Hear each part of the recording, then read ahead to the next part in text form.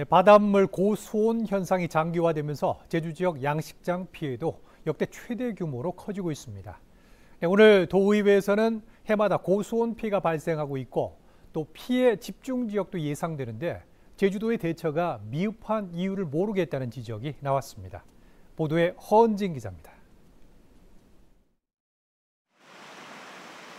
바닷물 수온이 28도 이상 높게 나타나는 고수온 현상이 장기화되면서 양식장에서의 피해도 크게 증가하고 있습니다.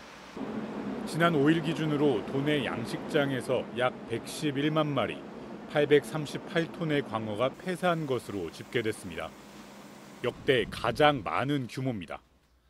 올해 현재까지의 피해액은 27억 원에 육박하는 것으로 예상되고 있는데 이는 관련 피해가 처음 접수된 지난 2020년 1억 7천여만 원보다 15배 높은 수준입니다. 이같이 고수온 현상이 해마다 나타나고 있고 관련 피해도 계속 증가하고 있지만 제주도의 대책은 미흡하다는 지적이 도의회에서 나왔습니다. 고수온이 지속적으로 이렇게 발생을 하고 있어서 특히 서부 지역에 있는 양식장들이 상당한 피해를 보고 있는데 우리가 지원을 해둔 거 보면 반복적인 겁니다. 대책을 마련을 해야 될 것 같습니다. 지역별로는 대정읍과 한경면 등 서부 지역이 고수온 피해의 85% 이상을 차지하고 있습니다. 서부 지역의 경우 비교적 낮은 수온의 염 지하수가 없는 지하수 특별관리 구역이다 보니 다른 지역에 비해 피해가 집중되고 있는 실정입니다.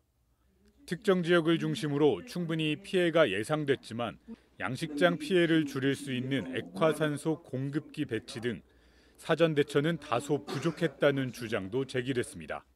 그 사후 약방문식 돼서는 안 된다고 봅니다. 그렇기 때문에 피해가 예상되는 지역에 피해가 예상되는 양식장에 대한 액화산소 공급비 공급기를 사전 배치하는 방안을 재정적으로든 재정적으로든 제도적으로든 좀 더 이렇게 철저하게 강구하셔가지고 불가항력적인 기후 변화로 고수온 피해가 반복되고 증가하면서 보다 적극적인 대응 방안 마련이 요구되고 있습니다.